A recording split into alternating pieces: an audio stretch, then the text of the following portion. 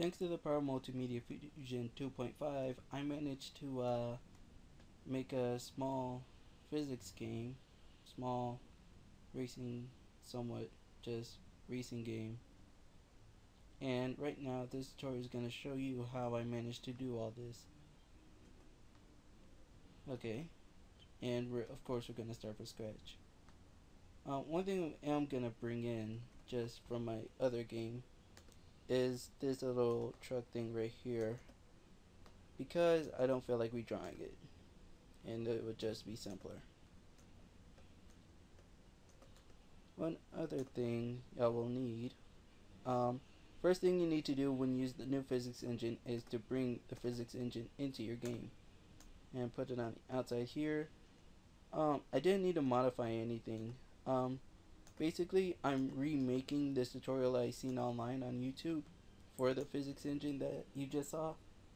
Thing about that is, I'll show you while we're making our tires. Just go ahead and start making your tire. Um, yes, the tutorial itself was entirely in French. And, you know, I figured, okay, I'll try my best to translate this and I managed to, and I decided to just make an English version. Just real quick. Okay. That black, make that white. And if you want, just crop that. Ooh, one important thing. Uh, action spots and hot spots. Yeah, just center that. Make it smaller. That's like way too big.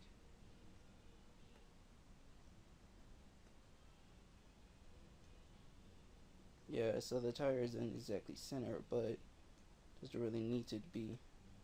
And then just duplicate it. That way, you know, both tires do the exact same thing.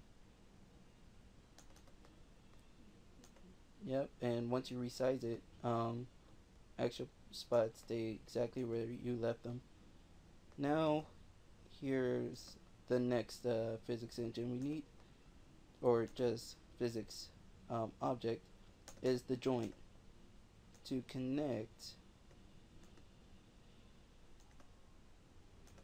the tires to the truck. I don't think they had to be connected to the truck, so let's just put them in the middle. If you seen, uh, if you remember my video of the uh, my truck that I just previously showed you, um, you saw the tires weren't exactly spinning in the center, and um, yeah, that was a bit weird. Hopefully, they still follow the truck. Now let's see. You're gonna want to click on the joint or no, you're want gonna want to click on the tire. Yeah, and uh, you're gonna want to make it uh, static movement, physics static movement. You see that whole line for uh, Multimedia 2.5. That is an awesome addition. Important. The hotspot of an object with a physical movement must be positioned at the center of the mass of the object. And that is important. Now, I didn't need to touch all this, but uh, except down here, collision shape should be a circle with smooth rotations, if I'm correct.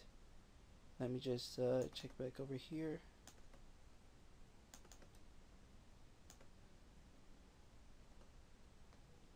And, uh, yep, circle, auto rotations, smooth rotations, and, okay, we got that.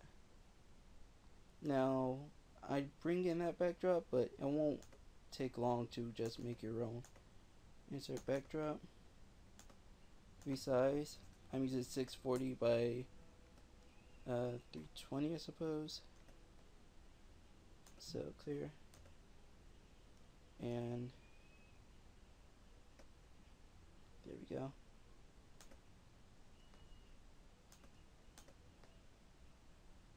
and crop it, I suppose. You don't need to, but you know, it's there if you want it. Okay. Sorry, I'm a perfectionist, but that is perfect. Okay, now what we need to do is another physics uh, object is ground. If you see the little ball with the um, connected dots down there, you know, just grab that and bring it in. Now we're going to want to duplicate, I suppose. Don't copy, that bring in a lot more join objects. Okay, and we just do that and just move them over like I don't know I just did it wherever there was a point or a hill or whatever just made a lot of things simple and easy okay that'll be cool. So yeah. Now we're gonna want to go into the event editor for editing. Now when this active object collides with the backdrop, you're going to want to stop the tire movement. Oh, and uh, also uh, just test the position of this and make it stop so that it doesn't go out of the screen. Unless the right side, which uh, we'll get into later. And now let's see what we're to do. Um. Oh, okay. Always. Um. Frame position. No, scrolling. Center window position and relative to, so that the camera always follows the truck, no matter where it goes. Okay. Now let's just test it, make sure the tires touch the ground. And there we go. Accomplished. Now for the movement. Which is kind of weird because um I managed to uh, get the uh, vehicle moving, but well, you're gonna see. Okay, now the tires. Um, movement, physics, apply force. By let's say 75. That's what I had on my little game thing. You can have it whatever you want enter the, was it zero? I think it was. Yep, zero degrees. Yep, now edit that. Left arrow. Let's just drag this down and put in negative 75 degrees for when it's moving backwards with zero angle in degrees. I'm not sure what the angle in degrees is about, but um, we'll just take care of that, you know, just don't worry about it now. Okay, and upon pressing right, the vehicle moves automatically. No, no, no, no, no. Whoops. Let's just start that again. Sorry about that. Um. So yeah, I don't. So you can only move forwards or backwards depending on uh, you know, however you uh yeah, so with the apply force thing, um, as it showed in the demo, or not demo, tutorial, the tutorial I saw when I correctly um, translated it, this is how he did it. And once you play the game, you know, it just, yeah. So basically, you can only move left or right, and uh, you can apply how much or how far you want to go which kind of sucks. But if you press the down arrow, you can, uh,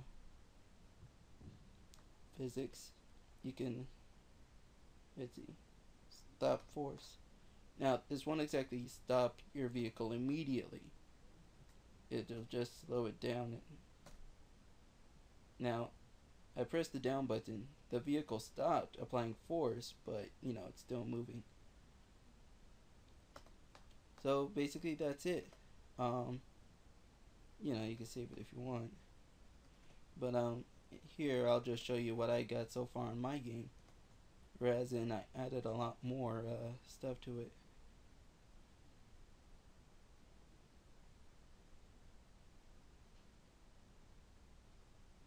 And that's just pretty much it. I thank you for watching. If you really like this tutorial, please give it a like. And please subscribe for more tutorials.